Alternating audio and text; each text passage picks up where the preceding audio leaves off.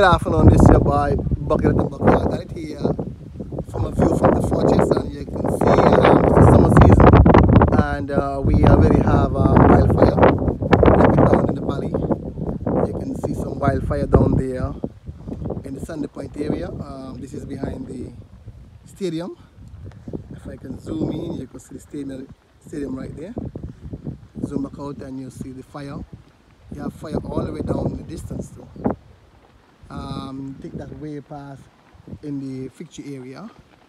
So for persons um, you know who are doing farming around this area and live close to this area, you gotta be careful and look out for wildfire. This is the boy, Buckie, Buckie, I got it over now.